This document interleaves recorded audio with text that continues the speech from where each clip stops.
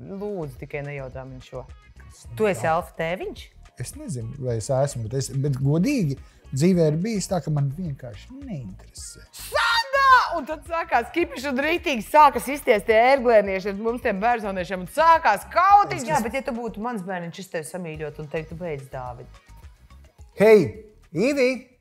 Nu kādām sastāvdaļām var sajaukt asiņaino mēriju? Man kā valodas robotam bieži gadās kaut ko sajaukt. Piedod, Interesanti. Kā gan mākslīgais intelekts cer uh, pārņemt pasauli?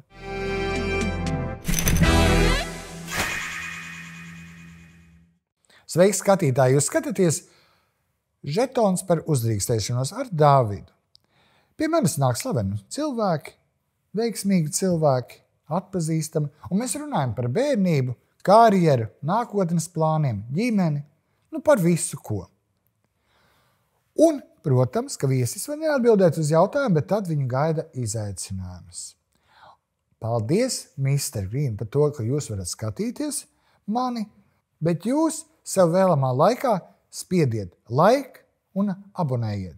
Nu, ko ir pienācis laiks pateikt, kas pie mums ir ciemos? Pie mums ciemos ir sieviete, skaista sieviete, sieviete, kura runā no radio, no radio SVH, kuru, cik es zinu, vada kāzas, saviesīgas pasākums, un es viņu pat esmu redzējis televizoru ekrānā. Tā ir neviena cita kā Sanda Dejus. Precīzi. Nu, precīzi tāda izklausījās tāds samuls. Tad Santa pagaidi dejus, lai nesajauktu dīdžus un nepateiktu Santa. Jā, tieši, tieši. Tā man ir klasika absolūtākā. Vai nu es tiek nosaukt par Santa? Es pat vienā žurnālā, uz, kā Santa bija uz vāka uzlikta, ar uzrakstu Santa. Nu, re. Tā kā, tas man tik, tik ļoti jau Bet Dejus. dejus gan Kas ir Dejus? uzvārds. Goda vārds. Tā izklausās pēc skatuves vārda. Man patiesībā reizēm prasa, vai tas nav skatuves. Jā, es arī domāju, vai tas nav izdomāts, jo diezgan traki Dejus. Kādu iesauku bija skolā? Nu, tas, ir mans, eh, tas ir mans vīru uzvārds. A, kādu viņam bija iesauku skolā, tu nezini. Ar tādu uzvārdu Dejus. Ome. Ome! Tā viņš man ir teicis. Tāpēc, ka viņam ne, ne, tāpēc, ka viņš esat kaut kādā. Viņš bija mazpulks, un tad kaut kādā mazpulku priekšstāvā viņš bijis ar leikanu, un tad viņi pēc tam iesauca par Olmu. Nu, Oh. bet varbūt es maldos. Varbūt Tas jau tik. Tas jau Bet ar nav. uzvārdu nekas tur nevar būt eh, saistīts, jo uzvārds jau skaists, ko tur atvasināt. Nē, nē, ļoti neparasts. Teiksim, Jā. skaists, ne, bet neparasts. Bet eh, es teiktu, pat skaists. Un eh, Lietuvas šķiet izcelsme tam ir. Un Liepājas pusē ir ļoti daudz šādu uzvārdu. Man dēlam ir draudzene uzvārdu Udzo. Un es domāju, Jēzus, man arī varbūt ir kaut kāda šitā, jā, kaut kāda pēctece, jā, bet Jā, nebija. jā. Nē, izrādās Igauņa kaut savukārt. nu, Jā? Skaisti tie jā, uzvārdi, jā skaisti. A, Pašai tev kāds bija uzvārds pirms, Aleknaviča. to es arī nevarētu izrunāt. To nevarētu. Jā, tas ir ļoti sarežģīts, un es to nevienā jinglā arī radio strādājot, nepieminēju, lai cilvēkiem e, nesajauktu galvu. Jo Tas ir es ļoti- tiešām nevarētu izrunāt. Mm. Man ir skaists latviešu uzvārds Andrejevs. Tas ir tik viegli izrunājams. Jā, Tā kā viss ir kārtībā. Tā, tikšu tā, es neesmu tevi pētījis, tavu cilts koku, tavu dzīves gājumu, mm -hmm. jo, jo tāpēc, kad tad man ir interesanti. Es tikai zinu to, ka tu nāc no Madonas. Mm -hmm. No Madonas manas savukārt savas, manas sievas rādi eh, attāli nāk no ļaudonas. No tā, eh, tās puses, nu viņi brauc uz kapiem. Es tiesnē reiz neesmu bijis. Jā, bet... mm -hmm. Un tad tu esi Rīgā. tagad es esmu Rīgā. Jā. Garš ceļš. Jā.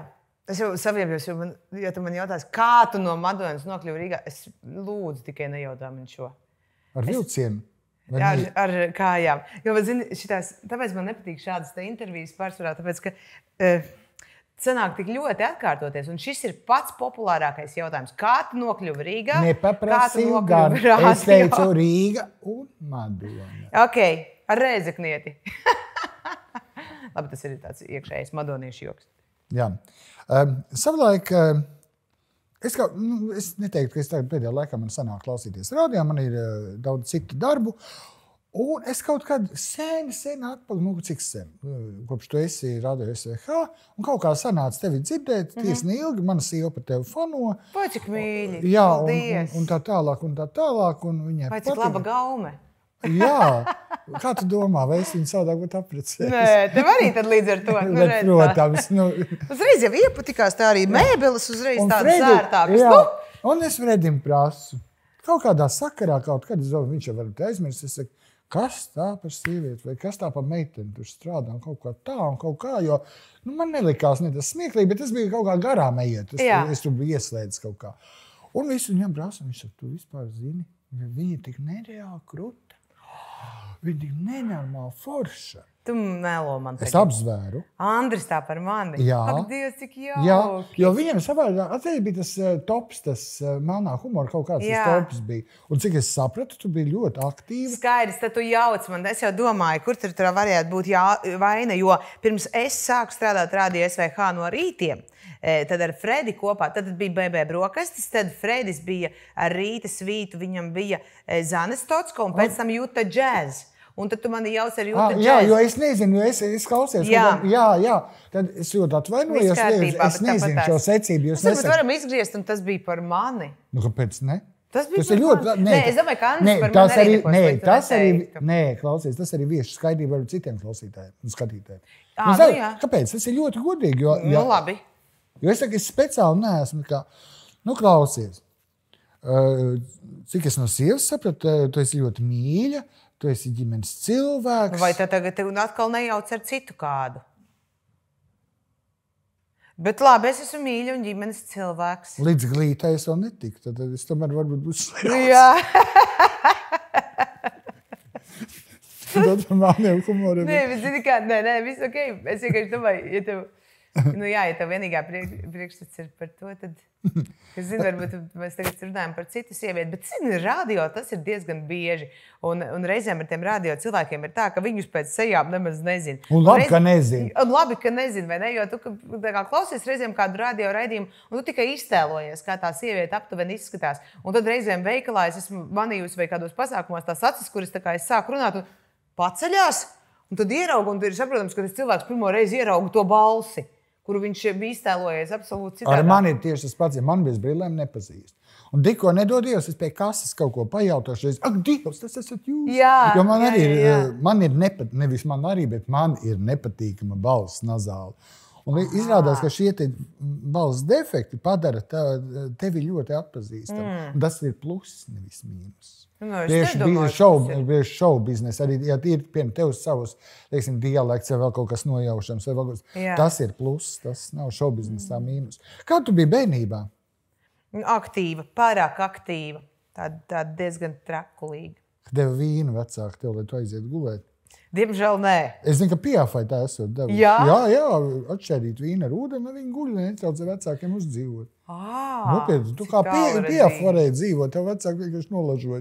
Jā, to varēja darīt. Nē, es biju tiešām ļoti trakulīgs bērns, ļoti enerģisks un, un ļoti nemierīgs. Un, un, um, Kas ir briesmīgākais, ko tu esi izdarījusi tādus nu, nu, nedarbiem? Es stāstīju, te raidījums nepieeja, bet man neviens neaicina, tāpēc es nevaru izstāstīt. Bet... nu, jā, šis, šis arī jautājums reizēm parādās, un tad es attiecīgi vienmēr mēģinu mm, tā mm, mazliet mm, tā kā piesargāties no atbildes, jo, saprotiet, es esmu mīļa un ģimenes cilvēks. Un, ja man bērns skatīsies šo un redzēs, ka viņa māte, kura vienmēr strikti iestājas par kārtību, teiks, ka viņa ir darījusi kaut ko e, traku, tad Am, Nē, es esmu otrā. Mēs bērniem, saviem bērniem stāstījām, cik mēs esam debīli. jā, Un bērnībā. palīdz. Nu, viņi ir tik nereāli forši, un tas no otrādi kaitinoši, pareizi. À, nu labi. Nu, Vienkārši tra, tracina, cik viņi ir pareizi abi mums. Jā, nu, no tiem stāstiem, ko es neesmu nekur stāstījusi attiecībā uz tādiem izgājieniem, tas jau būs tādā lielākā vecumā, kad man jau bija kaut kādi 17 gadi, bet uh, mobilie telefoni tajā laikā nebija. Tikai klases biedrene Indrai bija, bet mēs ar citu klases biedru nolēmām no Madonas aizstopēt uz uh, hip hop festivālu Valmierā. Savai mammai pasakot, ka es būšu pirtī Vestienā. Un mēs nevarējām atstopēt laikā mājās, jo mums beidzās nauda un mums bija jāstopē, bet tas bija ne, nereāli faktiski. Un es ļoti nu, ilgi, nu, pa dienu tikai jā, nokļuvu mājās, un mamma jau bija nu, ļoti pārdzīvoja. un Es tagad ar šī brīža, nu, iedomājieties, mobilo telefonu nav, nevar sasniegt. Viņa zvana tai draudzenei Indrai, kur Sanda, viņa izgāja ārā, tipat Vestienas pirtī. Viņa izgāja ārā, viņa tūlīt nāks. Un viņa, saprot, ir izmisumā mamma, un, un tad mamma bija ļoti pārdzīvoja, un tad viņa teica, kāpēc tu man nepateici? Es teicu, tāpēc, ka es baidījos, ka es netikšu to festivālu. Viņa teica, es tevi aizvedusi būtu. Es saku, nē, nē. Un nākamajā gadā viņi man aizveda ar draugiem. Nu, re. Tāpēc mē, mēs gan mūsu bērniem vienu ļoti striktu norunu bija. Runāt vajag. Jā, Runāt vajag. Tev par, par to ir pilnīgi taisnība. Jā, un manā mamma īstenībā visu to bērnības laiku bija ļoti laba draudzene un visas lietas es varēju, vienmēr esmu varējusi izrunāt. Un es ļoti gribētu, ka man arī ar meitu tā ir. Nu, melot nevajag, jo bērni jau ļoti saprot. Mm. Un, ja kādreiz kaut kāda sūdojas, ziepes, ir vienkārši izrunāja, izstāsta, kā ir. Es nezinu, mums jau tagad, bet bērni atcerās, kā mēs, mēs nekad neesam slēpuši kaut kādas tur lietas, vai kad eh, švakar naudu, vai vēl kaut kādas lietas. Tur, nu, kaut vai dēļ mana darba viņiem daudz nācies ciest, un, un tad beigās es No vienkārši. atpazīstamības. Jā, protams. Nu, jā. Jā, jā, Un, jā. un, un, un ir nu, bērni ļoti nežēlīgi. un Skola ir viena briesmīga vieta. Mm. -hmm. Viena bedre. Ja? Mm -hmm. Tā kā psiholoģiski tas ir ļoti smagi. Tu jau jaunībā zināji, ka tu būsi uz skatuves. tu būsi- Nu, gribēt, es gribēju. Gribēt, es gribēju, bet uh, es biju, gr- gribēju ļoti būt aktrise. Kas tev liedz? Nobaidījos. Es nobaidījos iestāties aktieros. Jo es domāju, ja man nepaņems, tad man būs salauzta sirds. Tagad es vēl ar vienu domāju, kas būtu brīnišķīgi. Vēlāk man būs ātrāk jautājumi. Tieši viens jautājums būs par šo. Un man ir skaidrs, kāda ir atbilde. Bet tas, ir, tas būs vēlāk, citā sadaļā. Bet Nu, jā, bet eh, tāda skatu man ir vienmēr patikusi ļoti, jā, ļoti, ļoti. vai es arī spēlēju mm, teātrī, nu, kas ir tas pašdarbības teātris, un visas pat balvas kaut kādas es dabūju. Jā. Jā, jā, jā. Vai tā, un kā pa Valmieru gāja? Ļoti patika. Vidzemes augstskolā es mācījos. Tas priekš manis bija ļoti forši, jo Valmiera ir bijusi šī lielākā Madona, bet nav tik milzīga kā Rīga. Un, un man, man ļoti patika. Un tad, tad pietiekami forša vieta izaugsmē. Kāpēc, Nav, ne, nav tāds bars milzīgs ar cilvēkiem. kāpēc nepalika Valmierā? Nezinu, ko es Valmierā.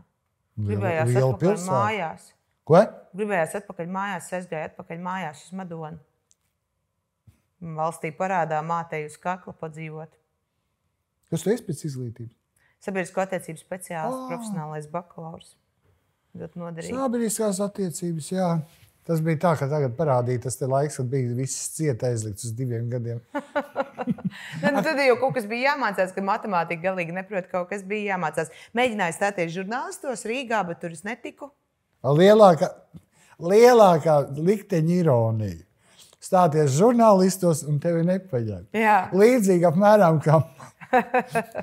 kad, kad man ir daudz vairāk darba, jā, teiksim, bijis savā laikā. Es esmu citur arī strādājis radio un, un rītprogrammas Jā. vadījis kopā ar Egilu Zariņu. Jā. Tā kā es, es, es zinu, cik tas ir briesmīgi. Es dzirdēju, ka tev ir riebas. Nē, man ļoti patīk darbs radio. Nē, Nē, bet ka rīti tev ir šausmīgi. Darbs man, man patīk uzdzīve. Un no rīta man vienkārši fiziski nāk Bet miegs. kā es tev piekrītu par to, es atceros, ka pirms kāda laika vēl. Senāk, kamēr es rīta programmu nevadīju, bet rādījos, vai kā jau strādāju, Kaspars Breidaks teica, ka mēs kādreiz varētu strādāt no rīta. Es viņam teicu, nē, lai es upurētu iepriekšējo vakaru tam, lai celtos no Nu, rīta. pilnīgi ko- Nu, tad, tad, Nē, tur bija fantastisks kolektīvs. Vēl joprojām ir Mikls FM, palicis labs eh, pie Feldmaņa kolektīvs. Fantastisks krievu plūsmā. Ja? Mm. Bet, bet tur bija lielisks cilvēki, bija latviešu rādio ar viņiem, latviešu valodā. Visur īsi sirds strādājām. vis- Nu, daudz tādu nu, uģis, jā, jā, joks tad, un- jā, forši. Tas- Klausies, tu esi ģimenes cilvēks. Es jau tā. Uh, ko tavs vīrs? Ko mans vīrs dara? Ja? IT speciālists, Ai, kišņiks. aičišņiks. Ai, kišņiks. Gudrs cilvēks, gudrs vīrietis. Tāpēc viņš ar tevi paņēma arī akungs. Un, un kā tu sapazinies? Kā var, kā, taisnība, čomīļi. redz, kā var sapazīties ar ar Nu, kur internetā, taču, protams, ka internetā. Ah, tas, viņš darbā, kad viņš pie viņa Darbā, darbā. brīvajā laikā viņš rakstīja- viņa darbā, kā Jā. ir var sakot. Ja? rakstīja meičām. Jā, jā, nu, sapzināmies mēs internetā, jā, bet tādā ziņā. Nu, un kad satikies pirmo reizi, kā tas bija? Nu, forši, forši puisis. Nebija, ka internetā tur sūta svešas bildes, jau un izliekas par kaut ko citu. tur Nē, mēs bijām baigi tādi godīgi viens pret otru. Tajā laikā es vēl eh, ļoti aktīvi biju aizrāvusies ar baznīcu. Un, un tieši man eh, nu, visādi periodi dzīvē ir tev, ne? Zeme atveries. Es tur nekas tev piedos to. Tev piedos. Kāds kādreiz Svētdien tev to jau piedos. Lūdzu, un tev dos. un uh, tur Nu, reliģiski un, eh, vadīta. tajā- Un tad es biju kristīta tieši tajā uh, pavasarī, un vasarā man bija iesvētīšana. Un es uh, pirmoreiz randiņš uzlūdzu vīru uz to iesvētībām. Un, viņš atnāca pie manis, viņš kategoriski, viņš tāds ateicis, ka tikai viņš ir makaronu briesmoņu kulta pārstāvis. Viņš man teica, ja mēs precēsimies baznīcā, tad es iešu ar duršlaku galvā, jo man ticība tā paredz. Tas ir dusmīga, ka viņš viņu ir gājis. Bet tas ir diezgan drosmīgs solis. Ja, ja jau tās bija kristības, tad droši vien tur bija visi radu, radi, radi. Nebija, nebija. Es jau biju pieaugusi sieviete, un uh, es pat izlēmu, kas man nāks. Nu, cik tas ir pieaugusi sieviete? Kad sieviete beidz augt? Nu, tā kā viņai vairs nav vajadzīga mamma uz baznīcu, kad jau kristības ir viņas pašas lēmums. Un Cik tas ir gadu? Nu, 25. Oh, normāli. Un māte seši. nebija baznīcā. Nē, tas bija mans lēmums, pilnīgi tāds. Oh, super. Nu, un kā tālāk? Nu, tad pēc tam uz kartupeļu telpu. Tad viņš man redzēja tajā tā baznīcā, kas viņam jau riebi. uh, Un, uh, ka jāpieņem, kāda es esmu, tāda es esmu. Un tad nākamais bija kartupeļu telpa, kur jau es biju jau, jau savā lauku drēbēs un gumijniekos. Un arī pieņem vai nu nē. Nu, jo tik un tā tu redzēsi mani tādās situācijās dzīvē, kopdzīvē, nu tāda izveidosies, kurās tev nebūs īpaši ērti un patīkami. Nu, un tad viņš to visu redzēja un pakāpeniski un pieņēma. Un tas man tieši viņā likās In, simpātiski. interesanti būtu, ja es viņu intervētu un atkal viņam prasītu, nu, kā tu iepazinies un kā, tur, kā, kā viņš iepazīstināja tevi ar, ar, ar, ar savu ģimeni un ar saviem kaut kādiem tuviniekiem vai ar draugiem. Nē, Ka ir tā trakā no kartupeļu talks, es jums atvedu atraudīt. Jā, viņam, viņam tā vienkārši Viņam nav draugu. Viņam ir draugi, bet tie arī rītē cilvēki. Viņi tādi arī prātīgi. Tā, tā ir Sanda, Viss. kaut kāda beigta. Varbūt es neatceros. Es neatceros, kā es iepazinos ar viņu draugiem. Klausies, Gan jau ka labi. o tev daudz kur filmē vispār? Nu, tā. Vispār, paldies Dievam, jā. jā. Kur, kur tu labāk jūties? Tur kameras priekšā vai, vai, vai, vai, vai pie mikrofona? Abejādi. Man, man es ļoti ērti jūtos. Man vispār nav nekāda tāda nav problēma abos variantos. Tas laikam tā, man darbs ir darbs. Darbs ir darbs. Tas ir kā darbs, un tajā pašā laikā ļoti man neko, mani neuztrauc. eh, Nu, a, ja vienā jaukā dienā radio nomirs, tā nebūs jauka diena. tad tu būsi bēdīgi. Es būšu diezgan bēdīgi. Jā. Kāpēc? Nezinu, tā, man ļoti patīk radio. Pati kādu radio tu klausies, ja klausies? Un... Visādus pēc kārtas. Ļoti daudz šlāgeru klausos. Šlāgeri? Mm. Man patīk. Ja es, ja man mašīnā pārsvarā skan radio, es paklausos mūsējos, lai saprastu, kas ir. Un tad es paskatos citās stacijās, kas notiek, lai apmēram to klimatu uztvertu. Nu, kas vispār kād, kādas tendences ir. Un tad, un tad bieži vien es mašīnā esmu, kad es braucu uz kādu pasākumu, kur man jāstrādā. Un zinu, ka es strādāšu, un lai jau noskaņotos uz tā viļņa, kur būs tie cilvēki, jo es visticamāk. eh, Un, lai ne, nebūtu tāda baigā disonance, ka es tur esmu tāda, man jāstrādā, un jūs uzdzīvojat, tad es arī uz to uzdzīvoju, noskaņojos. Un kas vēl vieglāk paņem, kā šlāgers, tev ātri, ātri uzmet uz tā viļņa, un tad jau atbrauc un hau! Orbe. Kas tev šlāgerī vairāk patīk? ā, Muzikālais pavadījums vai lírika, piemēram, nu, dziesmas vārds? Ļoti labi. Nu, man liekas, ka tur viens otru papildina. Un gala produkts ir vienkārši lielisks. vai ne? Jā, tieši tā. Cik es saprotu, tu, esi, ā, tu vadi kāzas. Ļoti reti. Ļoti Kāpēc? reti. Nu, man nepatīk vadīt. Vai kādu. neaicini? Aicina. Aicina, bet man nepatīk. Es vienu reizi mūžā esmu vadījis kāzas ā, par naudu. ā, Kā vadītājs. Es vienu reizi atceros, drausmīgi. Es esmu ļoti daudz vadījusi kādas. Man liekas, kādas simtu noteikti, ja ne vairāk. Ak, kungs, nevad, ne, maz vadu kāzas simtu Bet noteikti. pēdējā laikā ļoti maz. Vasarā vienas, divas maksimums. Jo bija vasaras savulaik pa 15. Uh, Viss briesmīgākās kāzas, kuras tu atceries. No. Olgai Rajeckai savulaik bija jāsēž būcenī stundas 4 vai 8. Un viņi netika uz to, jo viņi tika turēti. Viņa bija kā- pārsteigums. Jā, viņa tika turēta kā pārsteigums kaut kādā tumšā istabā bez logiem. Kas, Jā. kas tev ir bijis? eh, Nu, teiksim, Kas tāds- man ir bijis briesmīgs?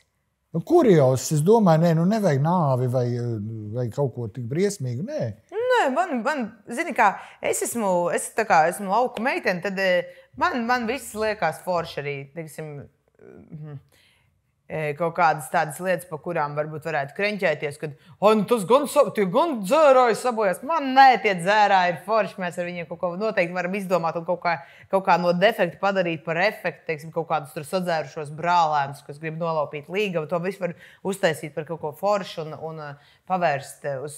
Man patīk cilvēki tādā ziņā ļoti.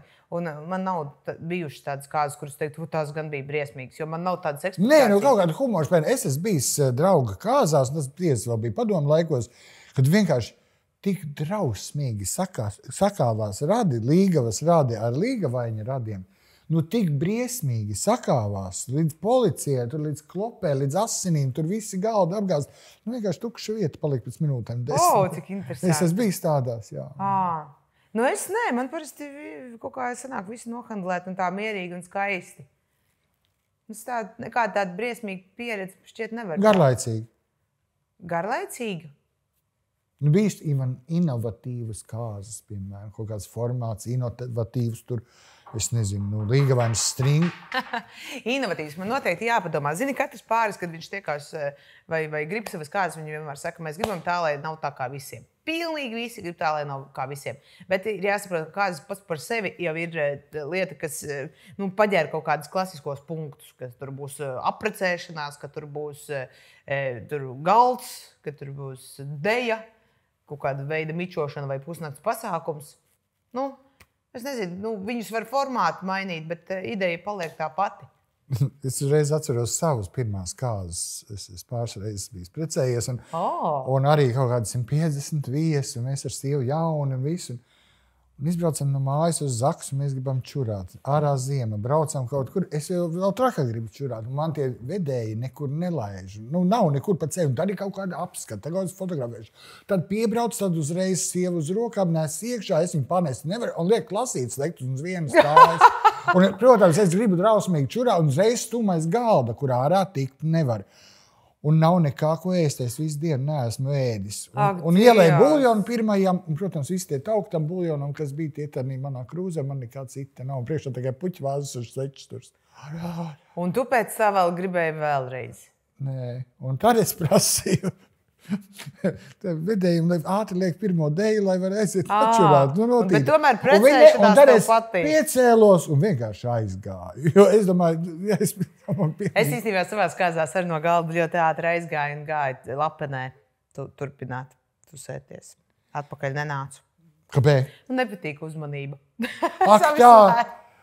Savus svētkus es tiešām nesvinu. Man, man, man ir drausmīgi. Savās, es dzimšanas dienas nesvinu. Kaut kādus 30 es biju sarīkojis pirti draugiem, bet nosēdēju ārā kubulā vienkārši, lai nebūtu jāiet iekšā. Un, un jāredz, jo man vienmēr tā atbildība ir, ka "Ai, viņiem varbūt ir garlaicīgi, kā lai viņus, kā lai viņus izklaidē, Dievs, un savu pasākumu nekad nevar saprast, kā. Un, un tad man, man Nu, Klausies, vai nav paradoks? Naudu tu pelni. Teiksim, tiešām tas ir tavs darbs, arī rādio, tas ir nopietns darbs. Tieši pretējo. Jā, Nu, tas ir paradoks visticamāk. Kā man grimētājs šodien teica, vai tev, es saku, nu, laikam izskatās, ok, viņš saka, jā, tev jau patīk pucēties. Nu, nu. Tev? jā, jā kad, ne, es domāju, tieši to pašu, ka visi cilvēki uztver, ka tavs darbs ir līdz ar to. Tā, À, ka, tev, ka man patiktu izklaidēt, un kad es sarīkotu sev ģimeni un visiem. Jā, un pa prieks es- tā, Mamma stāstīja, vai vecmāmiņa, un viņas daudzās kāzās ir bijušas salaik un bijušas tāda, eh, nu, viņu laikā. Vecmāmas laikā, laikam, tāda sieviete, kurai, eh, kura vienmēr eh, organizēja spēli, radu un eh, radu, kuram garāka drēbju virtene. Un tāpēc, ka viņai vienmēr bija vislabākais kombinēt tieši priekš šīs rotaļas sagatavots pašai, un tā kā viņai bija smalka apakšveļa, viņa šo spēli arī vadīja. Nu tā, lai izrādītu, Nu, jā. kad, jā, ka tu tad, tev tas patīk. Es arī, piemēram, rīkoju savas dzimšanas dienas, un visi, visi lūdzu sasēdieties. Tagad Sandas dziesma, un pati tā kā dzieda. Jā, jā. Nē, es domāju, jo cilvēkiem tas priekšstats apmēram ir apmēram. Kad, Kad eh, aizbrauc, tev nav bijis, ka tu aizbrauc viesos nu, pie radiem draugiem, ka viņi liek tev eh, izklaidēt. Ai, eh, vispār īsti nē. Īsti nē. Man, man radi un draugi ir tādi, kas spēj paši izklaidēties, un viņiem nekāds tamadā nav vajadzīgs. Tas nav tā, ka tur pie viesību galda ginekologam prasa, paskaties, man te kaut kāda krie- krevelīte. Jā. uzmet. Nē, mēs tā tiekam ar to galā. Bez. Jo man eh, vispār ir tā, ka eh, mūsu rados nekad vispār nav bijis nevienā jubilejā. Tur kaut kāds nolīgts vadītājs. Mm, Vienmēr kāds no ģimenes eh, pats ir uzņēmies, vai nu mana mamma, vai vecmāmiņa, vai, vai kaut kādu nu, pašu norganizēju tās aktivitātes un nu, kaut ko, kaut ko visi kopā. Es tik sen neesmu ar radiem tādiem, visiem radiem kopā. Man kaut kā dzīves laikā ir palikuši tikai kaut kādi rad, no radiem, tikai pāris kaut kādas ģimenes, ar ko mēs tiekamies. Un, jā, bet ve- vecos laikos, kad es biju bērns, tad bija ļoti strikti. Tad bija ēšana. Tad bija pie ga- galda, tad bija dziesmu grāmatas izdevuma. Arī, Māmas brālis spēlēja akordeonu. Oi, visi dziedāja līdz 5, 6 rītā. Jā, ja kāds muzikants ir ģimenē, tad jau vienmēr vispār superīgi. Bet tas jau... bija pilnīgi tā kā no tradīcija. un tad Man kaut tāpēc es visām latviešu dziesmām, tām senajām, tur ūdens rozēm, visam zinu vārdus. Es no galvas. arī, es arī. Tas ir tikai ar asinīm atnācis. Tas jā. ir tiešām, tiešām. Un galvenais, ka vēl arī man ir tā, ka nu, man nav nekāda dziedamā balss, bet es tos vārdus Tev- zinu. Un tā kā viņi, piemēram, vienā brīdī aizmirst kaut kādās balītēs, es tā tikai tā mm, panācu. Nu, to nākamā panta iesāku, un tad viņi eh, var turpināt. Pretī ūdens rozēm. Man arī nav balss, bet vārdus es zinu. Es, es arī tikai varu atdarināt burkānu skaņas, lai pievilinātu zaķi. Nu, man arī tā ir. Un, un reizēm, kad, eh, kad es, eh, es ļoti gribētu mācīt dziedāt, jo man vispār patīk tās reizes, kad var tā. Bet tad man vajag tādu ļoti skaļu atmosfēru, un tad es arī dziedu līdzi. Bet eh, augstskolā man pat vienreiz viena puiša uzaicināja uz grupas, viņi meklēja solisti, un uzaicināja uz grupas to nu, kaut kādu Noklausīšanu. Noklausīšanos. Es viņiem saku, džeki, es vispār nedziedu. Viņi tā, bet vakar nakt uz balkona. Tu tik, ar visiem kopā tik labi, tu biji labākā dziedātāja. Es saku, nu, labi, kādā kontekstā, bet ne jau grupas solisti. Un tad vienā reizē pat bija tā, ka es ar kaut kur uz kojās bija ģitāra, un es ar to ģitāru it kā dziedāju. Un tad viena meitene man eh, kaut kādā jaunajā saka, ah, tu varētu nospēlēt to un to. Viņai bija radies iespējas, ka es dziedu un spēlēju, cik es eh, ka Nu, laikam ir tā, ka tu, tu, tu spēj ļoti pārliecinoši to darīt. Jā, es vienkārši ļoti skaļi dziedu, un acīm redzot, nevarēju dzirdēt, ka es to ģitāru apakšā nemaz nespēlēju. Ja Tas ir tā, kā par to Madonu. Saka, Madonas vienīgais talants ir, ka, kā viņa uh, maskē talantu trūkumu, Ā. esamību, kad tik talantīgi. Klausies, kā domā, vai ar jokiem var savaldzināt vīrieti? Ar jokiem? Vai ar jokiem var savaldzināt vīrieti? Es domāju, ka ar asprātību var savaldzināt, savaldzināt vīrieti. Jā, es domāju, ka ar asprātību var. Kas tev, prāt, būtu laba asprātība? Nu, man liekas, ka asprātība ir tad, kad te, uh, um, nu, tāda asa mēlē liecina par asu prātu noteikti. Un tad, ja tā mēlē ir asa, tad ta, tam eh, nu, dabūt, ka vīrietis eh, atskatās vai vīrietis pievērš uzmanību. Jo man pašai tas ļoti patīk. Es, piemēram, esmu kaut kādā kompānijā, un, un reizēm liekas, tie visi vīrieši tādi pelēki, pelēki. Un pēkšņi uz kaut kādu manu repliku viens atbild tā, ka viņš man pilnīgi tā kā fu, izgaismojās visā tajā. Tā. Uzreiz es viņu pamanu. Momentāli pamanu, un viņš jau ir noķēris manu uzmanību. Un es domāju, ka sieviete arī to var panākt. Un, un tu teici, iepatikties? Nu, jā, nu, flirtēt, Iepatikties. jā. Jā, un uzreiz tā kā. Mm, kas tad mums tāda paodziņa ir? Un tad ir interesanti uzreiz paspēlēt vēl ar viņu mazliet to, to pingpongu ar, ar tiem tekstiņiem, un vai viņa māca tikpat eh, veikli eh, sist pretī. Un tad, eh, ja tas tā ir, tad tas var būt interesanti. Es vienreiz skrēju no Berga bazāra, man tur bija modes nams uz vecrīgu gar vērmeņas dārzu, un tur tramvai pietur. Un divas sievietes ar tādiem acainiem tīkliem, jaunas meitenes, un viņas man pēkšņi sauc. Viena kliedz otrai, pēc tam sauc man. Man nebija laika apstāties. Bet nu, tādas tikko ie- iebraukušas Rīgā, un viena kliedz otrai. Rekus smūgs čalis, un otra kliedz, eju, čali. Bet man bija jāskrien, es neatskatījos. Nē, pilnīgi nopietni. Bet tev patika? Nē, es, bet laikam kaut kas tāds klikšķis bija. Es tiešām sasmējos, vai tā tiešām es gadus 25 to atcerētos. Ja es to nebūtu piefiksējis. turēt. Bet, bet jā. tas bija no tās, tas līmenis, bija viņu līmenis, čali. Jo es domāju par čaļiem vispār. nu, jā, kā. jā, jā. Jā. Man arī ir bijis reize, kad es iepatikos vīrietim tikai tāpēc, ka es to visu nosaucu par zēniem. Un viņam uzreiz bija tāds zēni. Nu, tā kā es jau parādīšu zēni. Ah. Nu, tā kā gribās parādīt, eh, ka nu, tas nebūs tā. Nu, kad nolikt pie vietas, un tas jau arī vīrietim kaut kāda tāda alfa tēva viņam droši vien ir. Nu, es Tāds, domāju, nē, Alftē viņiem smagi vienalga, jo viņi ir mednieki. jā, Viņus ne, tādas lietas viņi nesaista. Nu, Tā kā es biju teicis, man tas ir tavs intelekts, tavs izskats, vēl kaut kas. Tav, tavs sasniegums un uzskats par baznīcu un kosmosu. Ja es tevi gribu izdrāzt, man nekas tu esi alfa tēviņš. Es nezinu, vai es esmu, bet, es, bet godīgi dzīvē ir bijis tā, ka man vienkārši neinteresē. Nekas cits kā tikai izdarīt. Pagaidiet, ja ir šī situācija, un man kaut kas tik ļoti patīk, es gribu izrāzt, Mm. Tad viss pārējais ir vienaldzīgs. Pilnīgi. Bet tā ir tā vienreizēja lieta, izdarīt un čau. droši vien. Ja, ja tu sāki interesēt viss pārējais, tad izrāzt ir otrs šķirīgi. Bet es brīnos par tām sievietēm, kas ļaujās. Es tiešām esmu pārsteigta. Bet, bet, bet drāsties ir tik ļoti labi. Tas ir tik ļoti garšīgi, kā apelsīns. Es, es brīnos es otrādi par cilvēkiem, kuri to nedara, ka viņiem ir kaut kāda apsvērama to nedarīt. Nē, es piekrītu, ka tas ir forši. Tas ir slimi, ja bet tu es ne- nesaprotu to. Nu, labi, Džekam, jā, Bet viņam jaunībā jebkurā- pagaidi. Jeb, jeb, džekam, jebkurā gadījumā būs forši. Bet sievietei man liekas, ka tur vajag tik daudziem nosacījumiem savilkties, lai saprastu, ka tiešām ar to džeku būs forši. Nu, man vismaz tā šķiet. Kurš tev liedz sākt seksa laikā smieties, piecelties un aiziet? Jūs paši esat izaudzinājuši, izaudzinājuši tādus eh, lupatveidīgos, tā ir jūsu vaina. Ā. Džeks jau grib tikai nodrāsties, bet jūs, viņi, Vai tu domā, smuki tā aiziet būt? tas būtu pareizi. Nu, laikam es esmu ļoti labi audzināta un es redzi. nesāku. Reiz. A, tu domā, ka džeki ir Tu, jūs Skaidrs, izvēlaties. Tev vajag pateikt, nu, beidz, beidz man kutināt. Vai otrādi jūtas kā zīmols glāzē, vai vēl kaut kas tāds. Un tad tu saki, tā Ir izskatās. tik ka daudz komplimentu, ko pateikt. Ja? Nu, Un beidz- aiziet projām. Es nekad, un tev ir kāda aizgājusi tieši tieši Nē, man gan nav aizgājis, bet es tā iztēlojos. Nu, Moment, redz, nu, tāpēc, redz, mēs sievietes esam tik Tāpēc, ka manas sievietes arī gribējuši drāsties. Nu, tas ir Nu, jā, mēs elementāri. pat tēlojam orgasmus, lai jūs jūtaties labi. O, to gan es nesaprotu. Nu, jā, mēs vienkārši esam tik sirsnīgi. Tas, mēs esam nolādēti, jo, jo mums ir pierādījumi. Mm. Jums viņu nav. Mēs, piemēram, tā Tas ir par negodīgi. centību tā kā iedodam to vimpelīti. Tēlo, kad tur bija oh, ārpus tas sāpēja. Es saku, kas ir? Tu pakustējies. Tā, nu tā, ja. Pēc mēdījos redzamā spriežot, tu tā diezgan uh, brīvi esi attiecībās ar citiem vīriešiem, flirtējot, uzrunājot viņus un jūties ļoti stabili. Jā. Ko vīrs par to?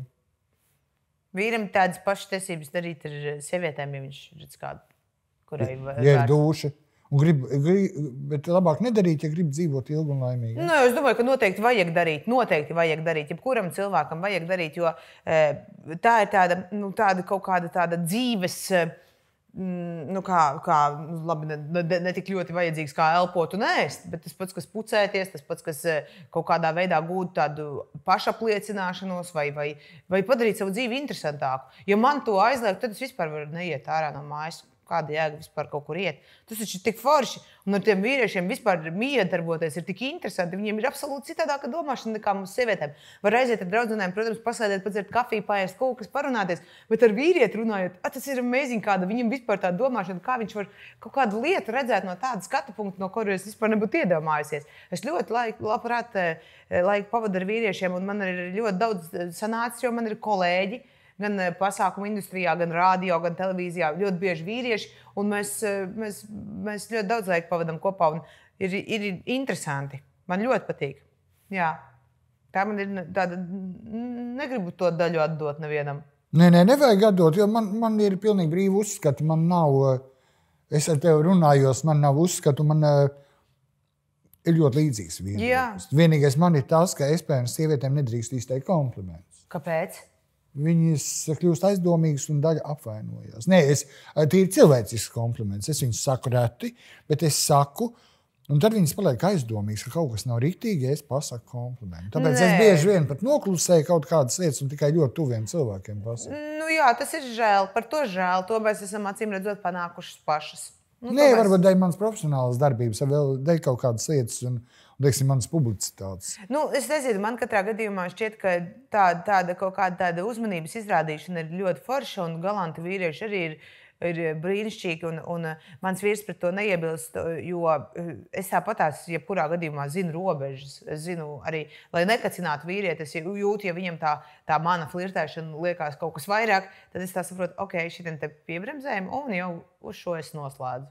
Nu, tur, tur es beidzu. Un runājot, turpinu runāties ar to, kurš saprot, ka mēs vienkārši izklaidējamies. Uh, klausies, uh, kāds tavuprāt ir tavs sliktākais ieradums? Ja mēs nerunājam par dzert vai pīpēt, nu, tas man pat neinteresē. Nu, kāds tavuprāt ir kaut kāds ieradums?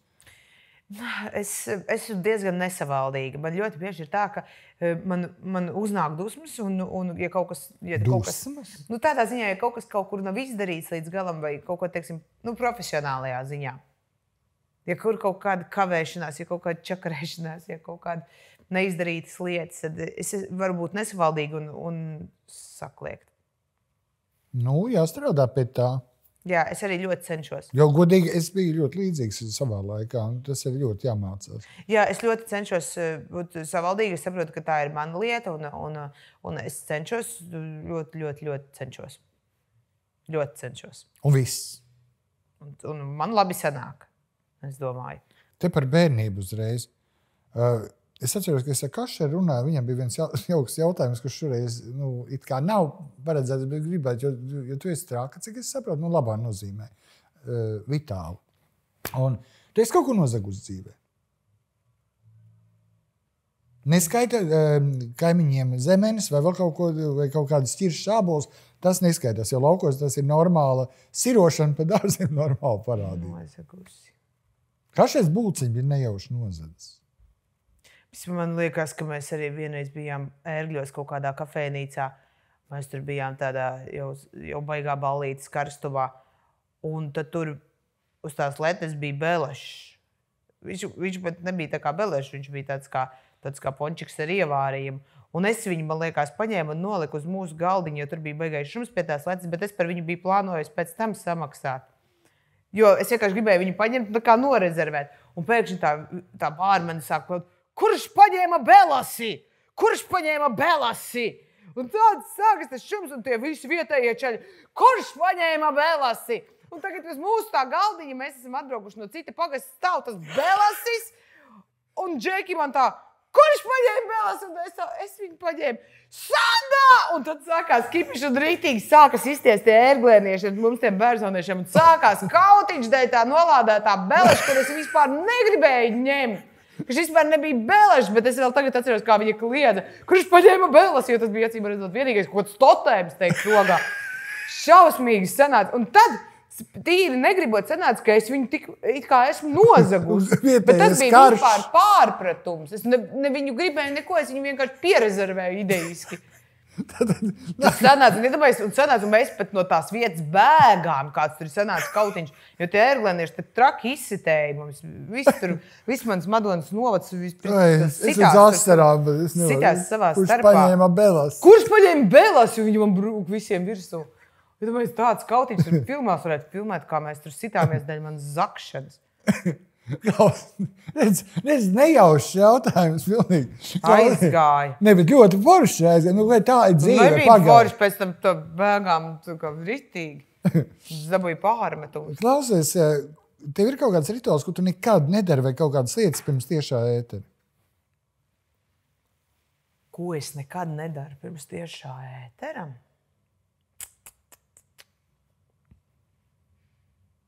Nu, piemēram, es pirms tiešā ētera nekad nedzeru gāzētu ūdeni. Nekad.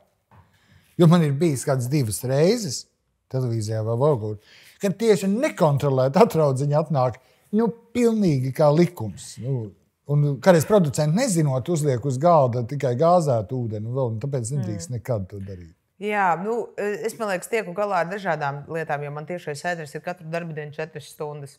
es kā... zinu, kā tas ir. Jā, es, vai es... brīvdienas, vai tev nav sestdienas svētdienas? Brīvdienas, nē, brīvdienas tad man tiešais ēders ir acis pret acis ar cilvēkiem kaut kādos pasākumos. Ah, nu jā. Bet jā, man, man praktiski nav tādas lietas, ko, par ko man būtu, ko es nedarītu. Man nu. nav bijis seks pirms tiešā ētera. Nu man nav bijis tieši ēterā. Tā kā nu, nekas Nā, nu, tas nav... man ir. Muldu. Es domāju, ka tas varētu būt. Nē, nu ir kaut kāds Šis rituāls. varētu būt mans stāsts jā, par to, lai raksta presa pēc tam, kad šī saruna būs iznākusi. Sandra Dejas atzīstās ar- par seksu. Man ir bijis tā, ka tur nu, tādas šausmas izrauj no konteksta. Jā, man arī, un man par to ir jāatbild pēc tam ļoti ilgi. Ir sevišķi, ja vīram vienalga, tad vīra radi uztraucās, un man pēc tam ir mazliet jātaisnojās, bet es jau esmu tajā stadijā, man liekas, un vecumā, ka manis pēc rakstiet. Mana māte dzīvo ciematā, un, protams, nofilmējām pašreklāmu citam projektam, un es esmu sarkanajās treniņbiksēs, sarkanajās. Un tiek zvanīts manai ģimenei, un stāstīts, ka cilvēki nāk pie viņas un stāsta, ka redzējuši man televizorā sarkanās bikses. Drausmīgi. Es Drausmīgi. saprotu, tās ir vīriešu bikses, tās nav sieviešu bikses. Jā, jā, Nu, nu, jā. Bet es- zinu, ciema, ciema mērogā tas ir pavisam kas cits. Un tev nav bijis, ka tu aizbrauc un tev, piemēram, vecāks stāsta kaut kādas pilnīgi neticamas lietas, ko viņiem ir atstāstījuši par tevi. Un... Nav bijis? Nu, tas pārdabisks. Nē, es, es esmu tāda diezgan vienkārši. Zinu, kā, ja būtu citādāk, ja es teiksim, brauktu uz laukiem un, un uh, mēģinātu radīt par sevi iespēju, ka, nu, redz, es Rīgā esmu izsitusies, un tagad es esmu tāda smalka dāma. tu tā nedari? Es to nedaru. Man ir tie bērnības draugi, un mēs tāpat daudzamies un daramies. Un nekas tādā ziņā nav mainījies. Līdz ar to nav nekā tāda. Es, es arī nu, te neesmu tāda. Nu, kā, man, man nav bail e, izkrist no tā tēla, ko es esmu radījusi, jo es neesmu radījusi tēlu. Labi. Kad man pirmais jau, kad tikko sākām sarunu, es domāju, ka tu esi radījusi gan vārdu, gan uzvārdu.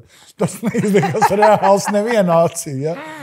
Klausies, tu esi runātīga. Tu, tu kaut kad esi nožēlojis savu sarunāto. Mm.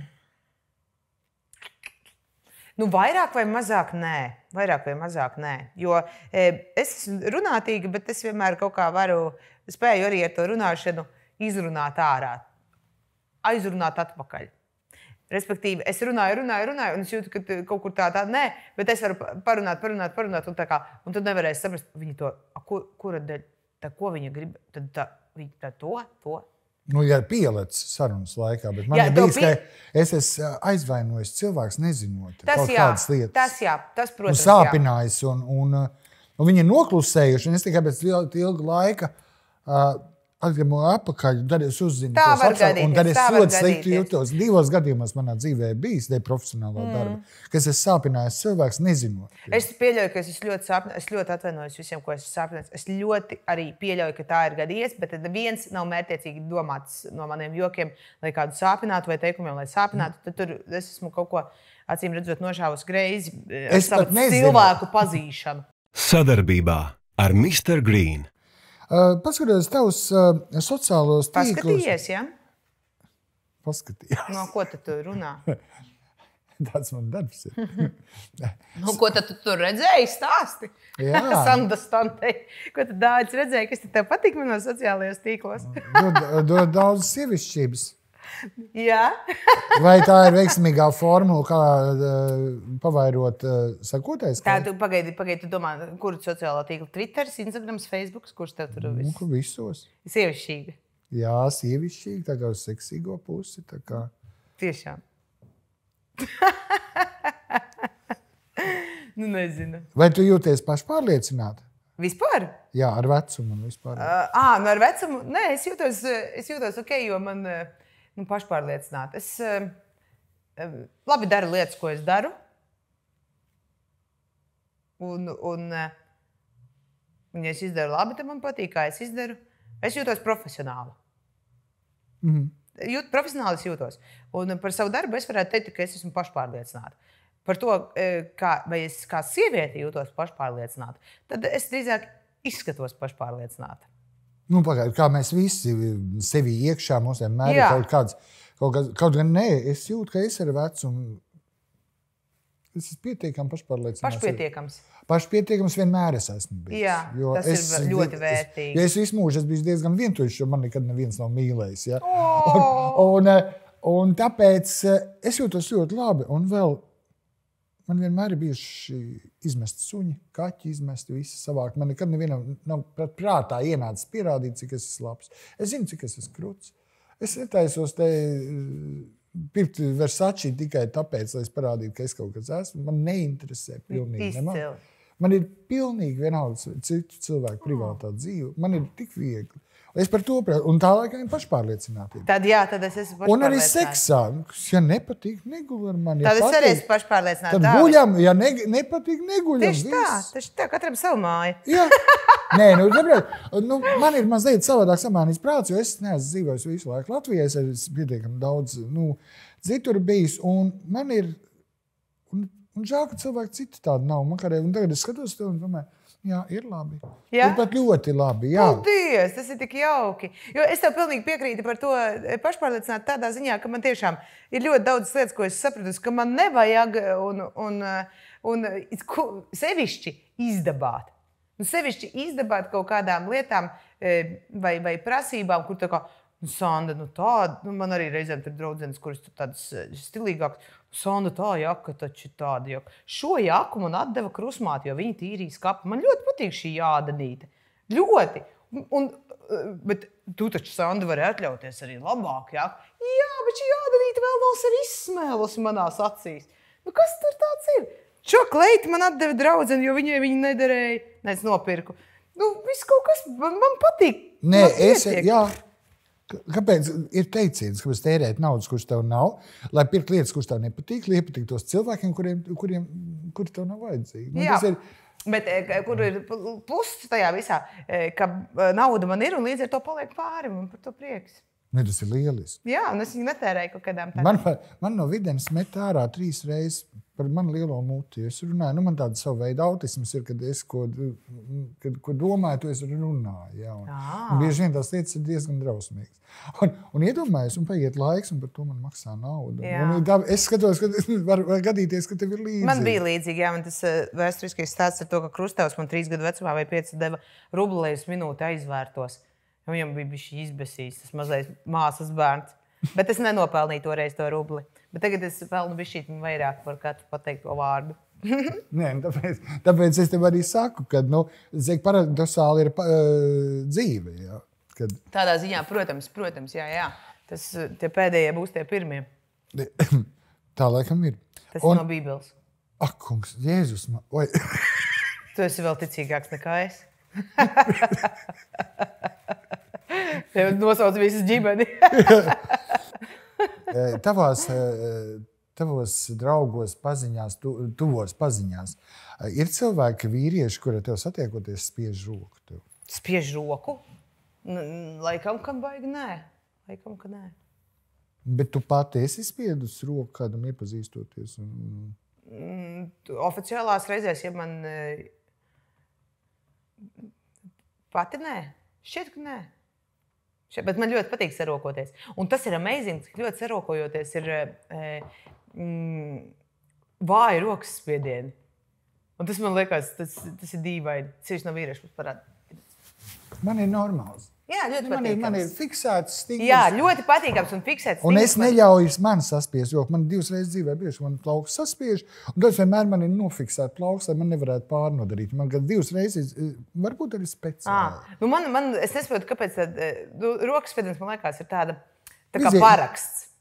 Nu, tā kā paraksts, vizītkarte vai kaut kas tāds. Tas ir kā sunim dibeni paustīt vienam otru. Jā, nu, tur manā pasaka- skatījumā tas ir Tur ir tāds- vairāk pateikts nekā naktas ziņās. Es tev pasaku, tur ir uzreiz skaidrs. Tieši tas pats, ka Un, un, eh, un, ja to roku paspiež kaut kā tā mekļa, tāda zivveidīga, tad eh, man ļoti. eh, tad- es tam tā ir taisnība. Tieši tādi pēc tam beigās izrādās. Jā, Jā, tas veido iespaidu. nav mugurkaula. Labi, uh, es gribu tikai pateikt skatītājiem. Uh, Pēc mirklīte mēs ar Sandu būsim atpakaļ, bet uh, tagad Mr. Green ir sagatavojis jums padomus par rokas spiedieniem. Oh. Padomu piedāvā Mr. Green. Rokas spiediens ir ne tikai sasveicināšanās forma, bet arī cieņas izrādīšana. Tāpēc rokas spiediena laikā saglabā skatienu otram cilvēkam acīs. Sniedz stingru, bet nepārlieku sasprindzinātu roku. Ļengana roka tiks uzskatīta par necieņu. Sniedzot labo roku, turi to ar īkšķi uz augšu, neieņemot apakšēju vai augšēju vērienu. Pārliecinies, ka apņem visu partnera roku, ne tikai daļu. Rokas spiedienu neveic ilgāk par trim sekundēm. Ja spied rokas vairākiem cilvēkiem pēc kārtas, pie visiem vērsies ar nemainīgu cieņu.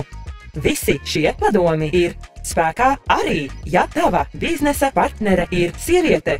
Ja tomēr neesi drošs, kā rīkoties, gaidi, kad sieviete pasniegs savu roku pirmā. Atceries, ka rokas spiediena procedūra dažādās kultūrās var būt atšķirīga, tāpēc esi vērīgs un saprotošs. Klausies, un tagad ir tā, es nolasīšu no lapas.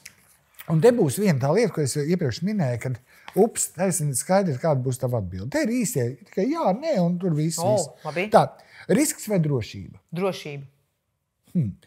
Neglīt uzvar vai skaidrs zaudējums? Neglīt uzvar. Vai man patīk? tā, ne, man, uzlikt limitus vai pārspēt limitus? Pārspēt. Uh, nedarīt vai nožēlot izdarīto? Gribētos jau nedarīt, bet parasti sanāk nožēlot. Oh. Tad par vēlamo nedarīt. Nekad nedarīt. Nē, es gan es nožēlotu izdarīt, nē, nedarīt vai nožēlot izdarīto. Es, Nu, es gribētu daudz lietas nedarīt. Ah, tad ir pareizi. Tad, tad à, gribētu. nedarīt. Nu, varbūt. Tā būtu Es pareizi. vienu reizi dzīvē tādu banālu lietu neizdarīju, nenopirku krēklu, ko es gribēju padomu laikos. Un kā jau bija deficītā, un es varēju, un es raugam stāstu, un, un vai dienas, ka es nenopirku kādu nedēļu. Un viņš Ai, teica, labāk, jā. un tad viņš teica, būtu nopircis, un kluss, tas sēdējis. Viņš nu, visu laiku vaimanā. Jā. Un Kopš tās reizes, ka tikko man ir šaubīga situācija, es daru. Un Labi, tad es arī ņemu to. Es ņemu to. Es ne, un pēc tam nožēloju, ka vismaz gāju un darīju. O, tu saki, uz aktieriem neaizgāju. Nobaidījos. Jā. Būtu gājusi un Tieši pagā- tā. Nu, kas tam būtu noticis? Tieši tā. Es vienreiz tā ar vienu foršu aktieru nepabučojos Nu, videns laikā. un viņš Es gribēja. gan biju jau pieaugusi, man jau bija 18, tas bija augstskolas laiks, nevis videns. Un tur bija pasākums, kurā viņš bija žūrijā, man bija iespēja aiziet, bet es izvēlējos iet mājās, jo tā būs drošāk. Jo tu, tu esi audzināts. Jā, jā. Jā. Un tad Un viss mūs... ir izdevīgi? Ah. Ko es ieguvu? Nu, ot skatītāji, te ir sevišķi jaunatni, kas skatās, dariet. Nē, bet nopietni. Bet ar prātu, drošību. Ai, beidz. Drošību, Labi. Uh, atbildība vai morāla? atbildību. Grāmata, kas jāizlasa.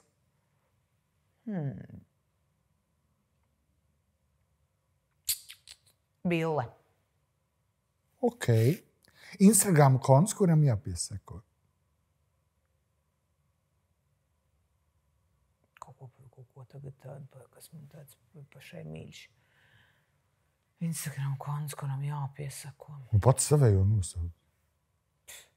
Ko? pf, Nezinu, kuram būtu jāpiesako, kas tāds varētu būt iedvesmojošs. Nu, jāpaskatās, tur jāpapēta. Tev nav tāds uz sitienu, tu man nekā nevari pateikt. Nevaru Tā, dziesma, kas jānoklausās.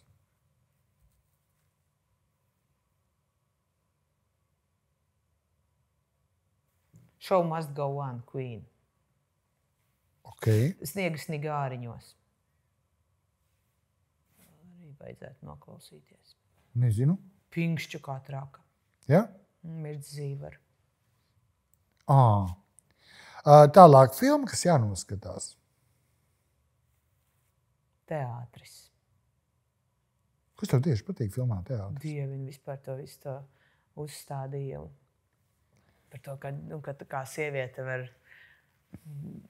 būt tāda tik artistiska. Sadarbībā ar Mr. Green. Tev uh, meita ir sociālajos tīklos, jau es pat ziņās skatījos, šur tur ir iekšā jau virsrakstiem. Uh, Tava meita tur izsakās par dziesmu svētkiem, tad tava meita pirms tam tur vēl kaut ko bija. Vai tev tas neuztrauc? Uh, ir tā, ka viņa to nezina. Nu, cik no manas puses viņai ir bijuši kaut kādi projekti, un mēs eh, strādājām. Viņa intervēja Olimpiešus pirms Pekinas Olimpiskajām spēlēm. Un, uh, viņa līdz ar manu publisko dzīvi ir iemācījusies, ka tā ir un tāds, tā var būt.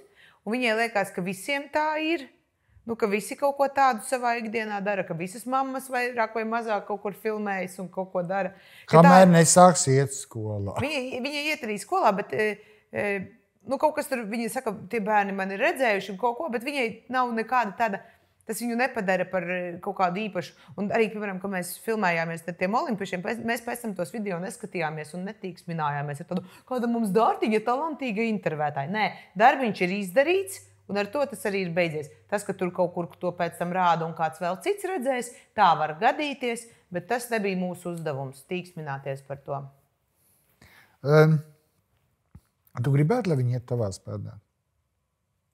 Kādā ziņā, vai, lai viņi Profesionāli, piemēram, ka viņi darītu līdzīgi. Jo viņa, jo viņa vēlētos, viņa noteikti to var darīt. Bet viņa tikpat labi var būt pilnīgi jebkas, kas vēlās būt. Pilnīgi man, man nav. Gan lai uh, cilvēks ir laimīgs. Lai laimīga, jā, un, un viņai, viņai ir aktīva, kas viņai forši, viņai tā skatuve nebiedē. Viņa tiešām pret to spēja izturēties eh, kā pret darbu. Jau šajā vecumā viņa to skatuvi ir piedzīvojusi. un Viņai tie, tie cilvēki, eh, viņa dara savu uzdevumu, piemēram, par dziesmu to gājienu. Viņa pukojās, ka viņai jāiet pa lietu, bet viņa pukojās tik, cik uz mani, jo es viņu filmēju. Viņai negribās, tagad viņai ir jāiet gājienā, liec māmu mieru, kā aizsāp. Bet tad, kad ir jāiet un jādejo, tad viņa dejo tik vien, cik, cik labi var. Perfekti izdara visu, ko skolotāji izdara, un tad jau tajā backstage jau tur savas bērnu aktivitātes, viss tā. Tā kā nu, viņai tāda tā, Bet tev ir sapņu pasākums, kur tu gribētu novadīt. vai man ir sapņu pasākums, ka es gribētu filmēties Tieši ko? kaut kādā filmā. Ļoti sen atpakaļ es eh, kādā intervijā Janai Duļevskai jautāju. Nu, par arī aktrisi viņa gribētu. Viņa teica, es tādu dievinu jauno Rīgas teātrī, es būtu gatava tur notēlot kaut vai neredzamo cilvēku. Nu, kā ir, nu, piemēram, ja tu būtu aktris, kādu lomu tu gribētu? Nu, tev ir sapņu loma. Sapņu loma. Nu, es gribētu kaut kādu stipru sievieti notēlot. Tad kaut kādu liktenīgo Bodybuilder. Nē, kaut kādu liktenīgo sievieti. Juliju Lamberti. Iznestu, ja? Nu, Censtos. censtos vismaz. Kad es, ne, es kādreiz domāju, nu, man bija tā izdevība filmēties, vai kaut kur tur sanāca tā, ka Vācijas televīzija par mani vairāk sižets filmējas man mūža laikā. Un, un, un tur piemēram kaut kāds sižets, nu, tāds kā neliela dokumentāla filma, tiek filmēta nedēļu. Kaut kādas tur minūtes, nu, tur, tur, tur, tur, tur nedēļu. Un galvenais tas, ka tev vēl vienā stadijā pašās drēbēs jābūt tev par nakti viņas jāizmazgā, jo iesāks jau filmēt tādās drēbēs un paliek augsts ārā. Nu, jā, nu, augsts. tas ir dokumentālais kino. Tur tie fiksē tādu, kāds tu esi. Un, bet tajā pašā laikā kaut kas jau no kino ir. Bet, eh, Nē, es nevarētu. Kino jau tā nīkšana, tā drausmīgais, tas ārprāts. Es tomēr jā, bet tieši to aizklāšu dēļ es gribētu to tādā vienā kinofilmā. Tici, ka nekas skaists nav. tur. Nē, es esmu bijusi fragmentāri kaut kur, es kaut kādos seriālos kaut ko esmu darījusi.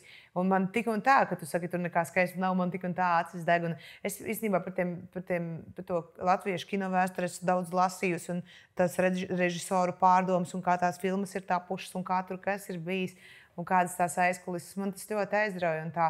Varbūt kaut ko vajadzētu pamācīties. Nu, ko tu vari mācīties? Atcerieties, uztaisīja uh, pilnīgi cilvēku grupa, uztaisīja filmu. Un, labi, es pašu filmu neesmu redzējis, bet cik es redzēju tos kacekļus, kas uh, gāja internetā, ja, uh, šie cilvēki, kuri tēloja filmā, viņi bija daudz labāki par uh, lielu daudzumu, lielu daudzumu latviešu aktieru. Kura filma? Kā sauc šo te, kas bija tā? Nu, kur Džeks savāc naudu, tagad paņem uztaisīt to filmu. Kriminālās ekscelences fonds. Jā, jā. Nu, piedod, tur piemēram daži tipāži tik nereāli labi. Ja, kad, Protams. jo, piemēram, tās uzstādītās balss, tenīs seriālus, un kas ir, kur ir tie profesionāli aktieri, personīgi man šarmuļietis ar kalnu. Nu, jā, nu, tā ir. Tā, ir- tā, Es neticu nevienam vārdam. At, eh, tas ir atkarīgs no tās formas, jā, nu, kā tu to uztaisi. Bet, eh, protams, tas arī. Nu, neticu. Tas ir teātris tikai kā kino izskatās. Ai, īsti kino tomēr ir. Nu, labi, lai tev izdodas. Un uh, gudīgi labi, ka ir sapnis. Jā, man tas ļoti liekas tā skaisti. Nu, zini, tagad tu pateici. Cilvēks skaidrs, ka tu esi gatavs, tev drīkst uzrunāt. Un, un kāpēc? Es visās intervijās mēģinu pateikt, ka es esmu gatavs. Tev visās intervijās vajag teikt, ka es esmu aktris. Jūs tikai tās filmas Es- neesat redzējuši, kur es tēloju, bet es esmu ļoti Jā, jā, jā. Nu, redz, tad, tad kaut kā tad, eh, man, man, tie, man tie sapņi attiecībā uz pasākumiem un kaut kāda tāda lieta, viņi piepildās tā, ka reizēm man pat ir jādomā, un es, man šķiet, nu, tad viss tā man dzīvība iet uz beigām. Liktenis man tagad grib e, apdāvināt, jo tūlīt e, kancelēs šo visu mūsu ceļojumu, un tas man pēdējie kaut kādi gulbi dziesmas. Jo patiešām es esmu, e, man, man piespēlēt tik maģiskus pasākumus un notikumus. Tur vecgada vakarā šovā ar Andru Freidenfeldu vai Interu Rešetinu iepriekšējā vakarā. Es tā pareiķināju, ka es jau trīs gadus pēc kārtas vecgada šovā laikam piedalos, ja nemaldos. Vai pat četrus kaut kā epizodiski. Tas ir amazing, ka man kaut ko tādu tikko zelta mikrofonu novadīja. Arī tādu tiešraidi kaut kādiem tūkstošiem cilvēku. Nu, tiešraidis, tu jau zini to specifiku tiešraidē, tas pats, ka es esmu strādājis. Tad, tad eh, tu esi lasījis daudz grāmatas. Es esmu daudz grāmatas, lasu, es lasu daudz. Jā. Nu, re, kur tas ir? Kāpēc vari novadīt tieši raidījums? Tieši tas pats, kas man ir. Tev jābūt labai valodai, un tev sava doma ir jāmāk precīzi, punktuāli, bez minstrināšanās nu, pavēstīt. Nu, grāmatas lasīšana, jā, grāmatas lasīšana tā ir tā lieta. Tāpēc es tev arī prasīju, jo tas ir nepieciešams. Jā, pilnīgi, pilnīgi, pilnīgi precīzi. Jo tagadējā paudze, kur tikai vienā teikumā izsaka kaut kādas lietas, un ar bildīšu palīdzību nav spējīgi paust savu domu konkrēti un īsi. Viņi dara to citādāk. Viņi dara to citādāk un varbūt ar emojiem. Jā, nu, iespējams, no, atkarībā no tā, kādu saturu viņi patērē. Bet, eh, piemēram, mans bērns nu, vispār eh, perfekti runā angļu valodā. Jau no kaut kāda 3, 4 gadu vecuma. Vienkārši perfektā angļu valodā tikai pateicoties tam, ka ir skatījusies YouTube kaut kādus video. Nu, mēs tādā laikā krieviski runājam, jo rādīja krievu mūziku. Nu, jā, filmas, jā. jā. Un arī es zinu, ka es skrēju pie mammas uz un ļauju, mamma, mamma, kas ir martiška? Jā, un viņa saka, mērķis, un tad, ah, mērķis. Jā, jā, jā. kaut kāda nu, tā, patiesībā, jā, nu, kaut ko, nu, katrai paudzei ir kaut kādas savas lietas, un tas, kā viņi tehnoloģiski, cik ļoti viņi ir advancēti ar kaut kādiem gadgetiem un lietām, tas priekš mums varbūt ir tāds. Bet pagaidiet, bērniņi, taču ņemiet grāmatas. Un savukārt mūsu oh, nē, vecāki nē, nē. tur varbūt brīnījās, kas jums tas par kaut ko. Nu, katram, nu, ir, katrai paudzei ir kaut kas savs. Nu, jā, nedrīkst atpalikt. Viņi kaut kādā ziņā mums noteikti ies garām ar kaut kādām citām lietām. Un varbūt mēs ar to savu grāmatu lasīšanu iepaliksim. Nē, mēs ar Silviju vienmēr esam pateikuši, ka mums ir bērni, jo mums nav tā problēma. Mēs abi pārbaudām lielisku datoru, mēs pārbaudām valodu, eh, ne tikai latviešu un krievu, jā, mēs pārbaudām citas valodas. Un ir tieši bērni tie, kas mums visu laiku neļauj, un viņu draugi, jo mēs jūtamies viņu vidē. Mums ir, nu, tas man eh, ļoti patīk. Nu, ko? Eh, man ir vienīgais jāsaka, eh, tev ir paldies par to, ka nenobijies, atradi laiku, atnāci mm -hmm. un novēlu tev kļūt par aktrisi, bet tik viegli mm -hmm. tu no manas vaļā netiks, jo mums ir. Un pēc noteikumiem, ja tu uz kādu jautājumu neatbildi, tad tev ir jāņem izaicinājums. Mm -hmm. Un tu neatbildēji uz jautājumu par Instagram kontu par Instagram kontu, kuram būtu noteikti jāsako. Jāpiesako. Noteikti, nē, bet nu, tavu prātu. Jā, nu, Kristīnai Garklāvai var piesakot. Ir jau pa vēlu, bet tev jāizvelk viena no kārti. Tā, vienu kārti mēs ņemsim vienā, kuru jau. Oh, cik skaisti! Kas ir? Mīlas vēstule vīram. Jā, uzrakstīja telefonā četri rindi vīram un nolas to kamerā. Tā. Nu, kas tev tur sanāca? Tā ir mana mīlestības vēstule vīram, jo uh, ir tā, ka mēs esam tāds ļoti praktisks pārītis. Un, un, uh, tad uh, man būs tā. Mīļais, nebrīnīties, ka rakstu tev pa dienu, bez lūgumiem, lai nopērts maizi, tu vai pienu. Tu nopirkt vari to, kas garšo pašam labāk, un pēc 20 minūtēm šai lokācijā mani savākt. Tas tiešām tu, tu izdomāji? nē, nē, nē. Tas ir smieklīgi. Nē, nē, nē, vai jā? Jauks. Ko? Tas ir tik jauks. A, kā tu sabies tikai pēc, tu tiešām to pat izdomāji?